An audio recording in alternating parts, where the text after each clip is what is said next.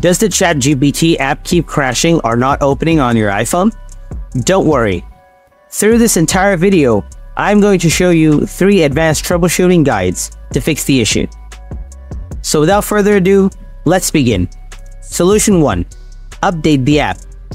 Open the App Store, search for ChatGPT, tap on it. Now if you find any available updates, then please update the app. Or if you didn't find any updates, then follow the next solution. Solution 2. Offload the app.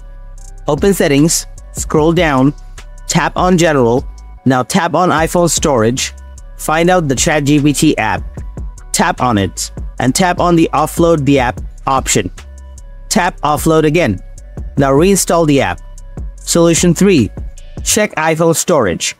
Open settings, scroll down, tap general, tap iPhone storage, and check your storage capacity. If you are running out of storage, then free up your iPhone storage.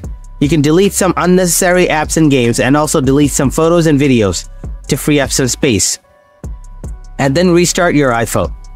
Hope one of these processes will fix the ChatGPT app crashing problem on your iPhone.